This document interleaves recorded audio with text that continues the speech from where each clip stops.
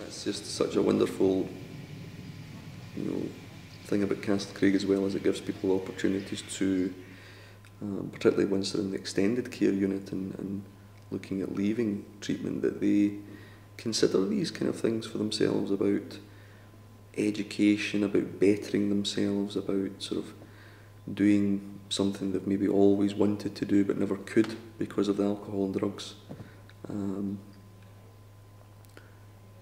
and, and, and for some people that, that may be college or university or training, you know, and I think that's great. And then eventually getting involved in work because, again, so often addiction creates unemployment, um, an inability to be responsible. Um, so part of recovery, of course, is that, that there is a sense of giving back to the community, giving back to yourself, giving back to your family. Um, and I think that's you know that's such a, a wonderful on, ongoing thing, really.